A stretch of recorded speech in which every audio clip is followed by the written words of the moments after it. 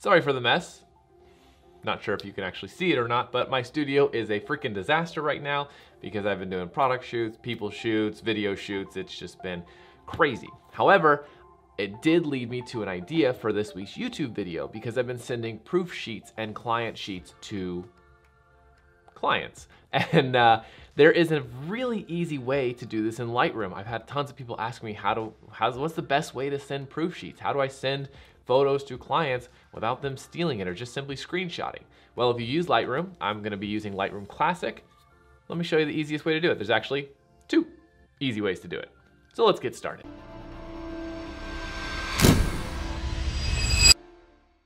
Will Simpson here. Welcome back to Exploring Photography. Always good to see your faces around in these parts. And today we are going over how to send proof sheets via Lightroom. Simple, easy, and effective. No additional software or anything else you need.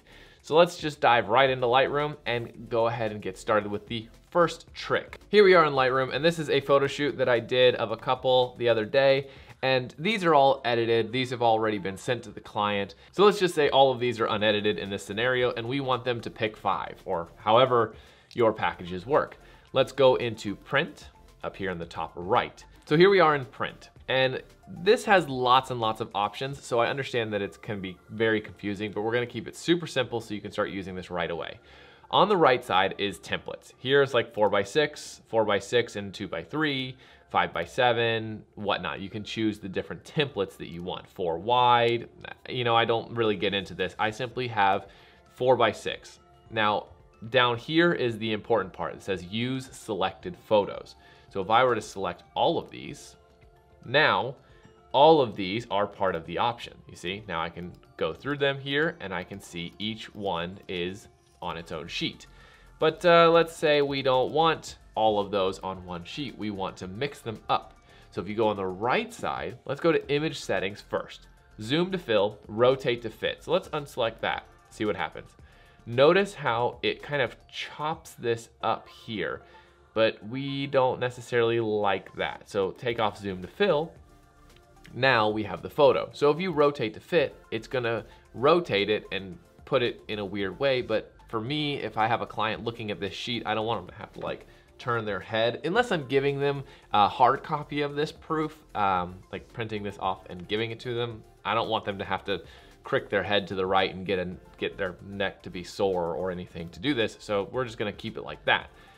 And now zoom to fit, well, that does crops in on the photo. I don't want that either. So you just kind of play with these settings to see how you like it. The next thing, we're gonna go into layout. So in this case, you have a lot of options here. Uh, the first one is the margins, like you can move it left and right, you can move it up and down. Again, you know, play with these as you want. Rows, you can have multiple. Hey there, that, that looks a little better. Okay, now we're getting somewhere.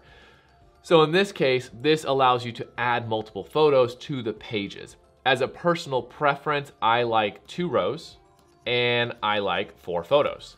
That just seems to look better. Then you don't have 15 pages with one image, you have one page with four images that they can easily see and decide quickly.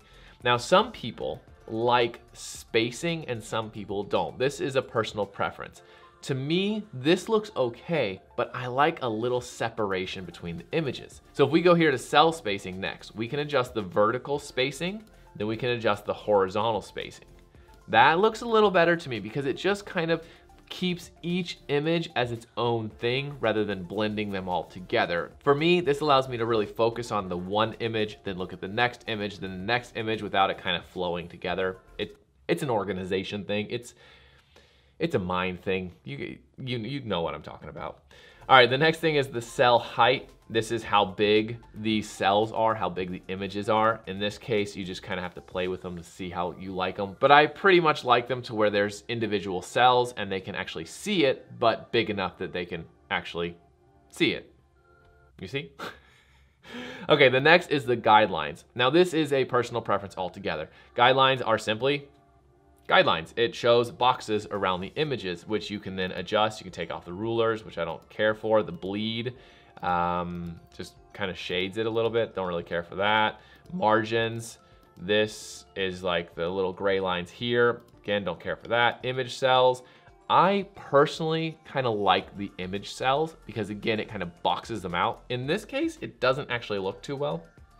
I think if I change the cell spacing, yeah, a little bit more, and then the horizontal, there we go. Yeah, let's make them actually boxes. That looks better to me. Again, it it creates its own section, which I like. Next is the identity plate. And this is essentially a watermark. Now you'll notice down here, there is another tab for watermark and we'll get into that in a second. But this is just a simple way to kind of slap on some text to make it easy. It seems easy for me, so I do it. So identity plate, and then you can choose what you want. So in this case, I'm gonna click this little arrow here and then edit, and I'm going to do Will Simpson, I want it to say photography. If you press enter or return, you'll immediately just save that. So what I learned is if you press option and return, I'm not using a Mac, it'll give you a space below. Then I'm gonna type photography, and hopefully I spelled it right. Uh, you can adjust your text, like what you want. Let's say we want to do times Roman or something like that, and you want it to be 24, that's fine. Then press OK. Now you'll notice it now says Will Simpson Photography. But now I want it to be on the images. In the middle doesn't really help me at all. So you click down here, render on every image, and suddenly it's on every image. But then again, it's a little small. So let's raise the size. So if we raise the size, good. There we go. Now it says Will Simpson Photography over the images. And maybe that's a little too aggressive, so let's lower the opacity. That way, they can see the image, but if they go ahead and screenshot this bad boy, it's gonna say Will Simpson Photography. So that's not gonna be too good for them posting it and it kind of saves you. And again, remember, this is for you to send to clients for them to say, oh, I want this one, this one, this one, this one. Then you can edit them. You don't want to send out unedited or raw images and then the client screenshots and say, look at this amazing photo by this photographer. And people are like, is it though? Is it really a, is it really a good image? Because it looks a little faded. Not really enjoying that image. I don't think I'm gonna hire that photographer. We don't want that. So this protects you. All right, the next thing is the watermark. Now, the watermark, again, it's a little bit different. Let's turn off the identity plate. So let's select watermark, and this allows you to use the watermarks that you have created previously. If you go up to Lightroom Classic, you go into edit watermarks, and then let's say, let's just select WSP1. Uh, let's scroll down here and raise the size so you can actually see it. And there it is. So this is the watermark that let's say we want to be using. So let's save that. Uh, freaking cancel it, never mind. So let's go into watermark and let's use WSP1. Now it's really tiny, like you cannot see it there, so I would have to create a new watermark that fills this screen because that doesn't really help too much. But you can create a specific one for that. This is just why I use the identity plate. It just seems quicker and easier. so I don't know, I just, it's a personal preference, I guess. All right, so the next thing is, let's clear all those off. The next thing is the page numbers. So you have these photos here and you know, someone might say, oh, well, I want page two, image three. That's great, but let's make it simpler. Go down to your page options. Let's select that and let's add page numbers. Okay, good. So now we know this is page one, page two. Great. Not too helpful. Let's go into page info. Okay, uh, this has sharpening low, profile managed by printer. We, they, we don't need that information. Crop marks, uh, don't need that information either. But what about photo info? Let's click that and you see you add the file name. This is much, much easier because then the client can say, oh yeah, I want Y2A5735 edited, please. That's a mouthful. okay, so let's go into file name. Now you can do caption. You, that doesn't do anything. You can do custom text where you can enter in your custom text. Uh, okay, what do you want your custom text to be? Uh, file. Great, well that doesn't help because, okay, file, they're all the name file, that doesn't help. Okay, date. Okay, they were all taken on the same date, that doesn't help. Equipment. You see where this is going. Okay, so the easiest way to do this is to simply use the file name. Now, yeah, it might be a little bit complicated for the client to say this, but realistically, if you save your raw files as the file name, it'll be easier for you the client will get over it. but this gives you an easy way for the client to say, oh, I want this file, and you know exactly what image because hopefully you're a little bit organized. All right, next thing. Um, this is important here. if you are doing a digital proof, if you're sending this to a client via email or uh, even like sending this via a text, this is an important step. This right here, I'm gonna go ahead and turn on identity plate so you actually really see the full effect. Right here where it says print to, do you wanna print as a JPEG file or do you want as a print as to the printer? Now, if you were printing these, actually printing these, you would select printer. However, you would also select printer if you want to do a PDF, and I'll show you that in a second. But first, we're gonna go through the JPEG. So this is where you can do the file resolution, where you can do print sharpening. In this case, I'm not gonna select that because these are edited and I don't want it to re-edit. If you are sending raw files, you probably don't want it to add sharpening either because you want them to just see the images. And if they're edited files, you probably don't wanna add sharpening because you probably did that in the edit yourself. Uh, it's, it's just do it yourself. Uh, the next is the quality, as these are proofs. You want them to be good enough quality for them to see it, but it doesn't have to be the best of quality.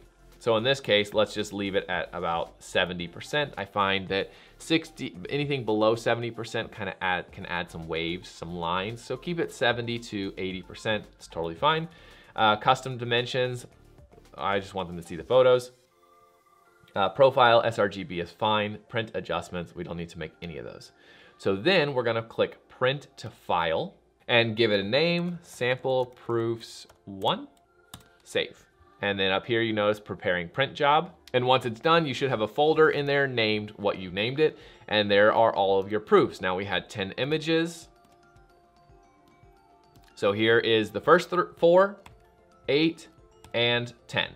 So you can then take this and you can send it off via text, email, Dove, Pigeon, Smoke Signal, however you want, and then your clients can review their photos and with confidence and safety know that they will have to come back to you to get the final products. Now that is option one, super simple. Next is how to do a PDF. And this is actually my preferred method because it's one file rather than multiple JPEG files. It just seems easier for me and the client. But first, I wanted to take a quick minute and thank all of my patrons right here. I just created a Patreon. So if you want to support the channel and all of these amazing free YouTube videos that I do for you, I'll put a link in the description. There's actually a limited number tier that has a monthly coaching call. So if it's not full already, I highly recommend going to check it out and get involved so you get that monthly coaching call. In addition, if you want some free Moody presets, actually some of the ones I used on this photo shoot specifically, if you like that style, I will put a link in the description for free Moody presets. All you do is click the link, fill out your email, and they will be emailed right to you. Check your spam or promotional folders, and uh, yeah, then they'll be emailed right to you. Okay, good. Let's get back into the next step, which is the PDF file. Uh, let's scroll up back to the print job. We're going to select JPEG file and change this to printer. Now, once you've selected printer, you don't need to worry about any of this because you're not printing them. If you are printing, actually physically printing these proof sheets, then you might have to mess with some of these, but this is not that video. Next, we wanna go to printer. And this is gonna give us these options. Again, you don't need to mess with any of this here. You wanna go down to PDF. And just as a note, if you are using Windows, this is gonna be slightly different. I'm using an, a MacBook Pro 2019 and it has a built-in PDF driver for this. If you're using Windows, it is still possible, but you might have to Google it or search and see how to do it because I'm not 100% sure. But if you're using a Mac, this should be right here. You click PDF, save as PDF, Again, we're going to save it in the sample here. Save as sample proofs PDF and press save. Good, and then you'll see up here that it is preparing print job, piece of cake, and we wait, we twiddle our thumbs. and when it is done, it, you'll notice that it has popped up right here. Go ahead and open this up and you'll notice here are our awesome photos in a smooth, simple, easy to use and share file where the client can open it up and boom, there are all their files. And that is the easiest way to send your proof sheets and your comp sheets to your clients. That way they can see, make their selects, choose what photos they want, and they can't just easily screenshot them and then show your raw files as your completed work because ew, Ew, no one, no one wants to see that. That's disgusting. anyways, go ahead and like the video. If you have any questions or comments, you know where to, you know what to do, and uh, subscribe if you haven't already. But anyways, happy Valentine's. Oh yeah, it's Valentine's Day. Happy Valentine's Day. Like, that's a thing. I'll see you guys next week.